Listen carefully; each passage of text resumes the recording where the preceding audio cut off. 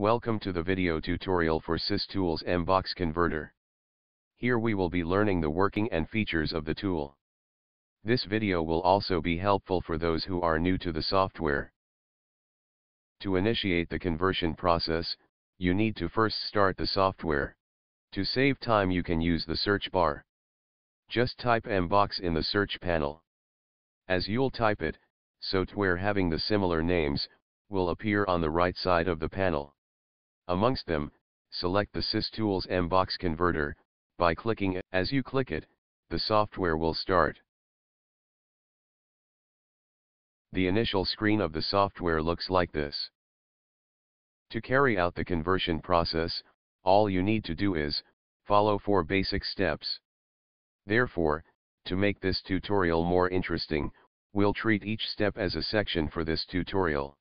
The first section in this tutorial defines how to add the desired file or folder. You can do it by clicking on the Add File button.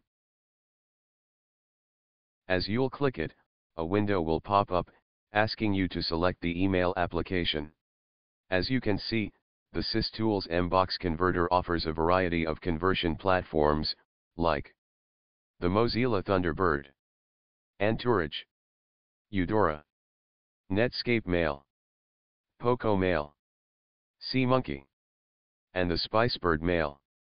In case you have your data file on any of these platforms, you can select any of these, or else you can go for, simply selecting MBox files. The next step is to select that whether you want to convert a data file of an already configured profile, or you want to manually locate the file or folder from your computer's file system. Underneath the selection option you can see the description of the selection that you have made. Moving further down you will see the, the default path, this is the path of the data file for the configured profile. In case of the second option the path will only appear if you have defined the path of the file or folder. Now we'll manually select the data file from our computer's system files. To do this choose the second option from the selection option and click Next. Once you do this, a new window will open, here you can define the path of the MBox file or folder. The folder mode can be used, to have your whole folder uploaded and scanned, or else if you want to scan a single MBox file, you can browse the system files, keeping the folder mode box unchecked. For further elaborated description of the software, we'll be incorporating the folder mode, as the process for both, folder mode as well as non-folder mode, is the same. The only difference between the two is that, while using the folder mode, you'll be uploading the whole folder, whereas in non-folder mode, only a single file would be added and scanned. Once you click on the Browse button, a new window will pop up, showing the file system of your computer. Here you can locate your MBox folder, by just simply navigating through the file system. Once you select your destination folder, click OK, and the path would be shown in the panel. In case you have selected the wrong folder, you can rebrowse the folder, or else to proceed with the selected folder, click Process. We have successfully added the folder containing MBox files. Now let's move to the second section of this tutorial, that involves the scanning of these files. In the side of the screen, you can see the hierarchy-wise defined files that we just added to the software. Now, as you click on any of the folder, for example we click on cotton2.mbox, you can see that the scanning process starts immediately. The process bar at bottom right of the screen shows, the percentage of that folder scanned. At the bottom left of the screen, the number of files already processed are displayed. At any time during this process, you feel that there is a need to stop the scanning, you can click the stop button.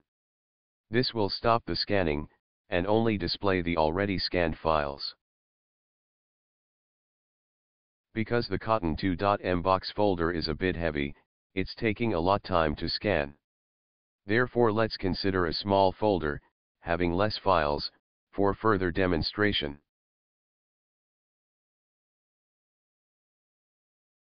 Now, as you click on the msnbcnews.mbox file, the scanning for this folder starts. As the scanning of this folder finishes, so does the second section of this tutorial. The next section of this tutorial includes the detailed explanation of the different email preview modes. To do this, the SysTools Mbox Converter offers us 9 different preview modes, that includes Normal Mail View Mode, Hex View Mode, Properties View Mode, Message Header View Mode, MIME View Mode, Email Hop Mode, HTML View Mode, RTF View Mode, and finally the Attachment Viewer. Apart from this, in order to make the software more user-friendly, it is designed in a way that the email data can be previewed in two ways, that includes the horizontal view and the vertical view. The users, as per their convenience, can select the view they feel is the best for them. Now let's have a more close view on the email preview modes. Normal preview mode. It shows the information that an email contains, just like any other email client. The hex preview mode. It show the data of the email in the hexadecimal code. It proves to be very beneficial, if you turn out to be a developer, or an email forensic investigator. Next we have the properties view mode. It nutshells the complete details of the email that is being viewed. Next we have is the message header view. It is again designed for the ease of the email forensic investigators. It consists the details of the metadata attached to the corresponding email message. Coming to the MIME preview mode, it contains all the details related to the attachments for the corresponding email. It depicts the details regarding the non-text attachments. Message bodies with multiple parts, and header information in non-ASCII character set. Similarly, the email hop view mode, HTML view mode, and the RTF view mode displays the emails as per their defined ways, displaying the information as per the need.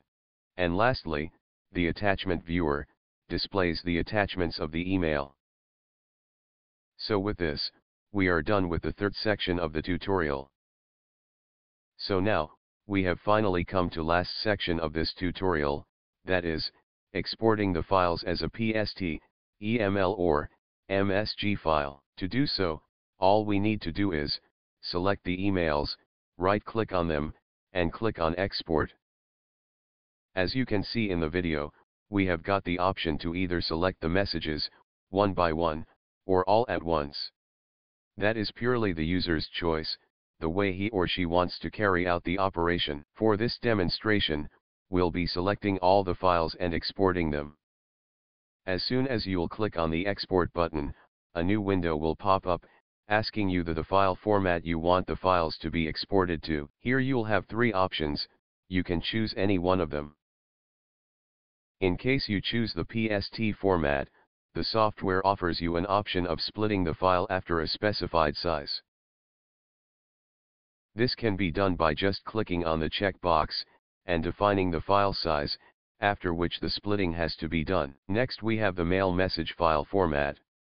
This is also a format that is accessible on the Outlook, it gives us the option to sort our mails as per the following seven naming conventions.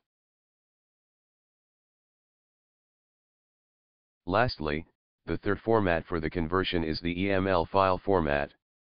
This is best for saving the email messages individually. It also has the same option, to save the file as per the naming convention.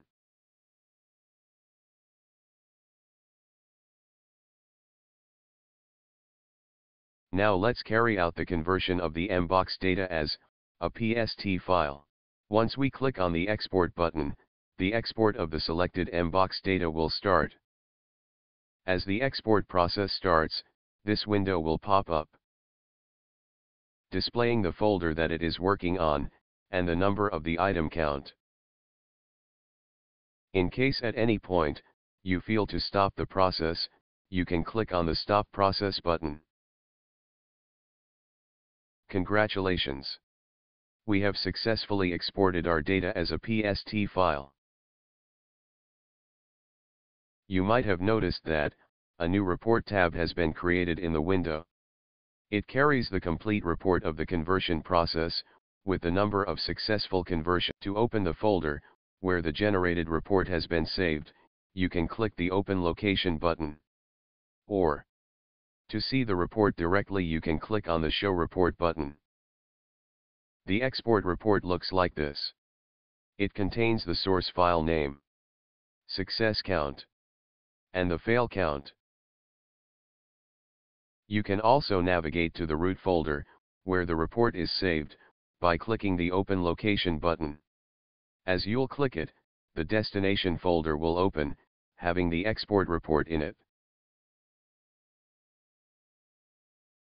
So guys, that's it for the Mbox conversion tutorial. Thank you for watching the video. Hope the SysTools Mbox converter meets all your expectations. Good day.